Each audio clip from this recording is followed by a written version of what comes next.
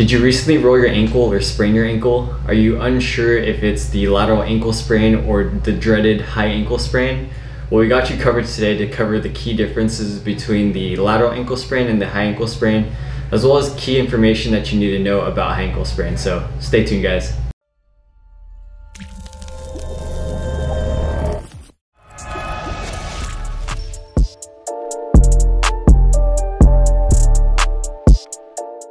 What is good, Hoopers? My name is Gabe Ignacio, Doctor of Physical Therapy, board certified orthopedic clinical specialist, and co founder of the Basketball Doctors alongside with Dr. Marco Lopez. Our goal here is to educate you guys and give you evidence based information on all things basketball related. So if you could help us out by liking, commenting, subscribing, sharing with friends to help us reach as many Hoopers as possible to help everyone in the basketball community stay healthy and perform better and move better. So if this is the first time you're listening, hit that subscribe button. We'd gladly appreciate it.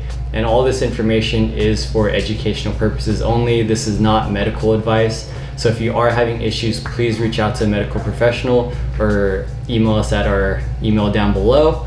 Uh, with that being said, let's get after our topic of high ankle sprains versus lateral ankle sprains. All right, so we're gonna go over what a high ankle sprain is. So generally a high ankle sprain is the generic term for a syndesmosis injury. So the syndesmosis is a complex that holds the tibia and fibula together and it is congruent with the talus or the ankle joint itself. So it's called a high ankle sprain because of the location of where it is. So it's right above the ankle joint and that's where most people feel their symptoms and that's where the injury occurs. That's why it's called a high ankle sprain. So what is included in the syndesmosis complex is the anterior inferior tibiofibular ligament, the posterior inferior tibiofibular ligament, the syndesmosis membrane, and the syndesmosis ligament, as well as the del deltoid ligament on the medial side of the ankle contributes a little bit to the stability of it overall. So the syndesmosis stability is the ability of all those structures to keep the tibia and fibula at the proper length from each other and allow that congruency to happen between those two bones and the ankle joint itself. So we're gonna go quickly over the anatomy of the ankle joint again, um, focusing more on the higher part of the ankle. So this is the left foot here. This is the tibia, this is the fibula, the talus or the congruency between the ankle joint right there. And the syndesmosis is this little gap that you see in between the tibia and the fibula I'll show you on the knee model. It's going to be higher up, obviously.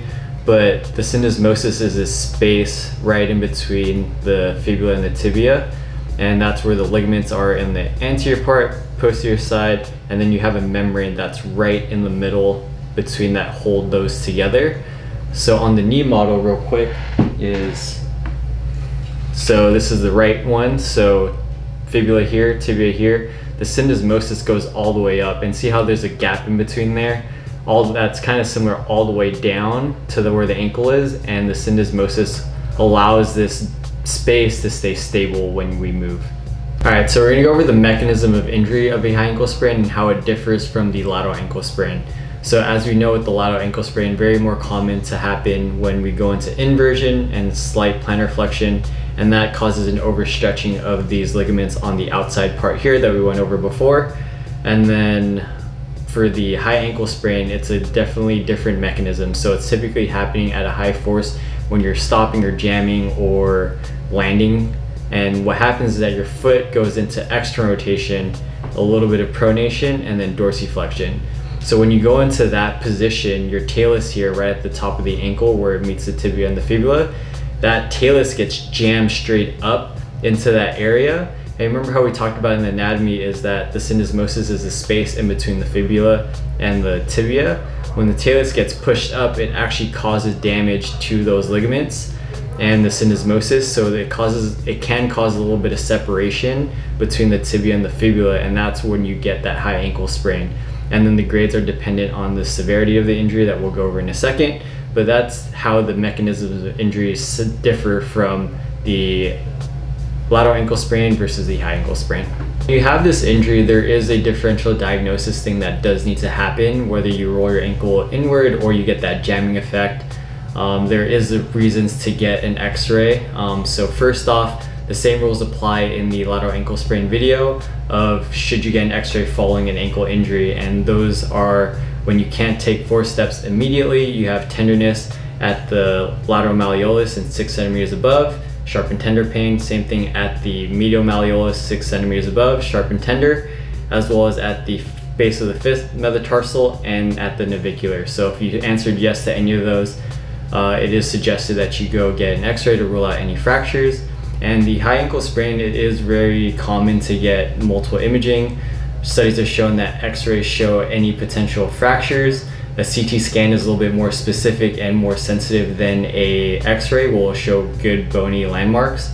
And then the MRI is actually the gold standard. It is shown to be 96% accurate, where it'll show you soft tissue structures as well as any displacement or issues of the fibula and tibia or any other fractures above and below. So if you feel like you have, an, a high ankle sprain and your symptoms are kind of higher there, then we recommend that you should probably seek out medical advice and see if imaging is warranted for yourself. So what are the differences in signs and symptoms of a high ankle sprain versus lateral ankle sprain? So early on, they're gonna be relatively similar. You're gonna have some swelling, some bruising, um, a lot of that tenderness around the area, but as time progresses, you'll start to notice that it might centralize to a certain area and focus on a different area. That's where you're gonna differentiate between the two. So with the lateral ankle sprain, you're gonna typically have that pain on the outside part of your foot, so kind of around the tenderness around here. Uh, the high ankle sprain, it's to be more of tenderness kind of higher up. So that's where you get the high ankle sprain uh, terminology, where it's to be a little more tender at the top part or higher part of your ankle, right near that junction of your tibia and your fibula, both on the front side and on the back side. And you could have like diffuse general pain going up the ankle or down into the foot, as well as the tenderness is going to be all kind of generally higher up and not on this outside part. Another thing that you might notice is that when you go into ankle dorsiflexion, you'll feel more of that tenderness up, shooting up, up your leg versus you won't really quite feel that with the lateral ankle sprain.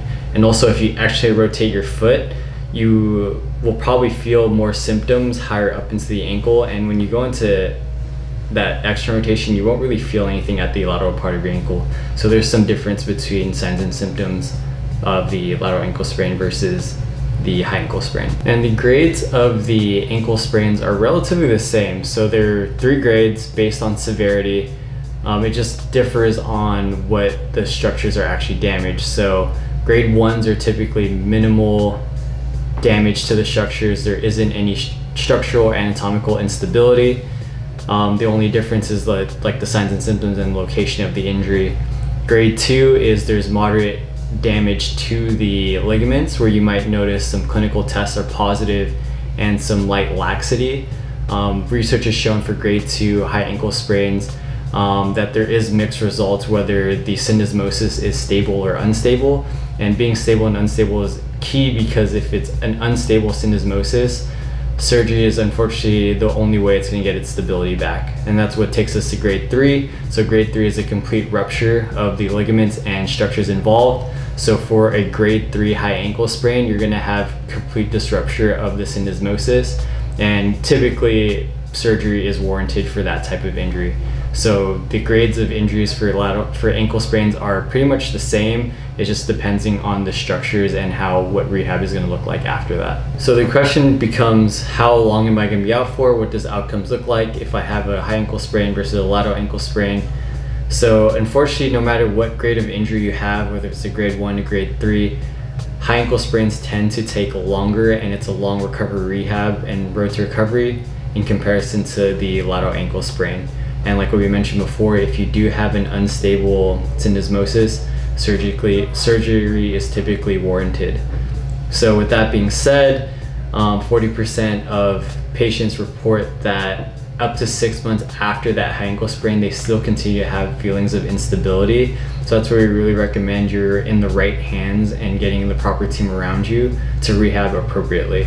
The good news is that high ankle sprains only account for about 11 to 12% of all ankle injuries, and that's on the higher end of what research has shown. All right, guys, let's recap of what we went over today on the difference between a high ankle sprain and a lateral ankle sprain. So, high ankle sprain is a generic term for syndesmosis injury Like we mentioned before, it's that space between your tibia and fibula. And the mechanism of injury is very different for this injury versus a lateral ankle sprain. So for the high ankle sprain, you're going to be in more external rotation, pronation, and dorsiflexion, and that jams the talus into tibia and fibula and creates some spacing at the syndesmosis or high ankle area. And that's where the signs and symptoms are different. As you kind of progress, you'll notice that your symptoms for the high ankle sprain are higher up and that can cause some pain or diffuse issues in the front part or in the back part as well as going up and down the ankle and that leads into prognosis where no matter the grade of injury high ankle sprains take to, tend to take longer than lateral ankle sprains and if you want to know and learn more about lateral ankle sprains you can click the video here and we'll go more in depth of lateral ankle sprains and what that entails because it is the most common injury that we see in basketball we also released a four week lateral ankle sprain rehab, rehab and prehab program. If you want to check that out, click the link below. You can kind of use that to get your ankle right or prevent future injuries. Just to make sure you're getting your ankle as bulletproof as possible. All right, thank you guys for listening. If you're still here, if you found this video useful and valuable for yourself or you learned something new, please, please, please hit the subscribe, like, or comment down below help us grow our channel and help us reach as many hoopers as possible. If you didn't like what I talked about, if you didn't like how I delivered it, please hit the dislike button, comment below so that we can improve and get this channel better. Again, we are the Basketball Doctors. Let's ball for life.